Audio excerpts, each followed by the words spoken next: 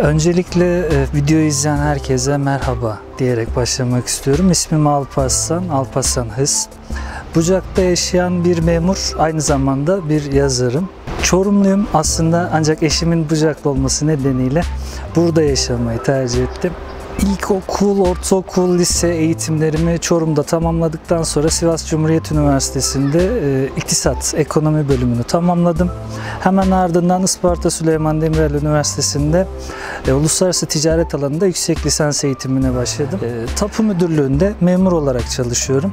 Boş zamanlarımda fırsat buldukça kitap yazmak ve kitap okuma konularına eğiliyorum.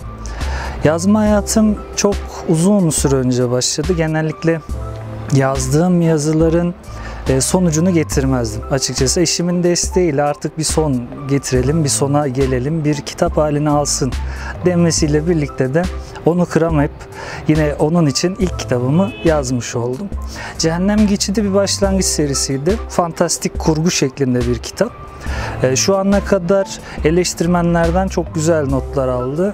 E, olumlu tepkiler aldı. Bu da tabii yazma hevesimi ve gayretimi arttırdı. İkinci kitabımızı yazıyoruz aynı şekilde tamamlanmak üzere. Önümüzdeki ay ya da e, en geç Kasım ayında TÜYAP öncesinde ikinci kitabımızda aksilik olmazsa yayında olacak. Bu serinin ikinci kitabı olarak.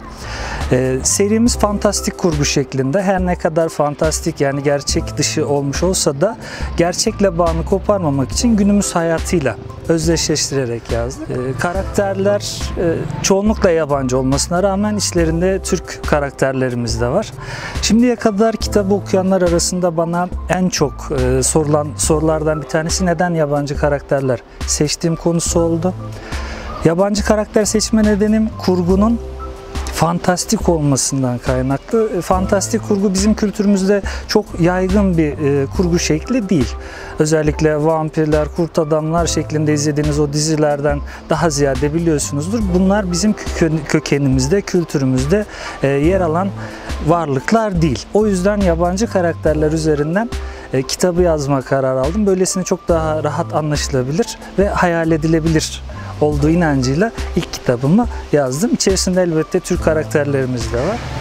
Kitabımızın ana temelinde çeşitli düşünceler var insanlara aktarmak istediğim. Bunun e, en temelinde şekilci yaklaşımlardan uzak, ön yargılardan uzak insanların çok daha rahat ve doğru kararlar alabileceği yönünde ufak da olsa bir fikri beyan etmek istedim. Herkese iletmek istedim.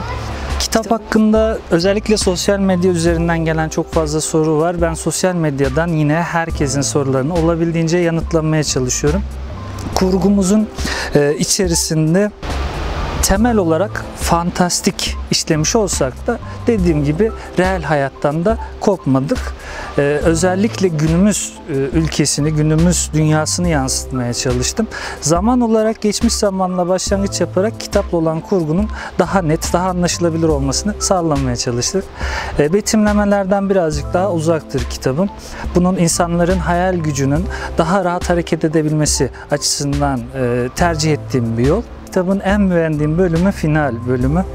Oraya kadar gelen e, maceranın sonunda çok farklı bir şekilde e, sona ermesi ciddi anlamda kendimde bile bir merak uyandırdı. En sevdiğim karakter e, Tommy adında bir karakterimiz var. Oldukça zıpır, oldukça e, heyecanlı, oldukça eğlenceli bir karakter. O yüzden onu da ayrıca seviyorum. Yazarken nasıl hissettiğim, nasıl yazdığım konusunda e, bir şeylere değinecek olursak yazarken ben kendimi yalnızca kurgunun içerisine bırakıyorum. Hayalim nereye götürürse oraya doğru ilerliyorum. Yani kesinlikle büyük bir iskele çalışmam olmuyor. Tamamıyla akışına bırakıp kendi hayal gücümle devam etmeyi seviyorum. E, kitabın her ne kadar kapağı biraz korku unsuru varmış gibi gösterse de kitabımızda korku unsuru e, yok. Çok fazla bir gerilim durumu yok. Tam tersi her yaşa hitap edebilecek özellikle 14-25 yaş arası gençlerimize hitap edebilecek, kitap alışkanlığı kazandırabilecek, okuma alışkanlığı kazandırabilecek bir serüven başlattık. E, umarım okurlar, umarım eğlenirler.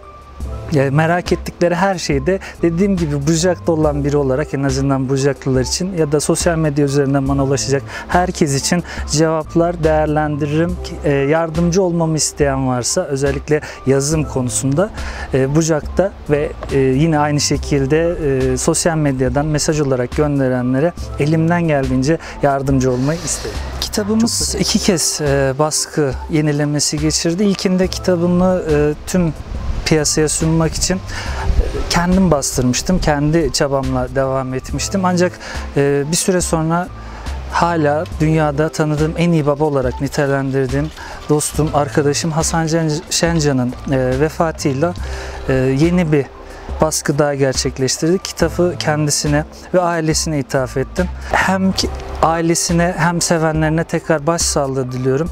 Hasan'ın isminin e, sonsuz olması için, yaşatılabilmesi için de elimden geleni yapacağım.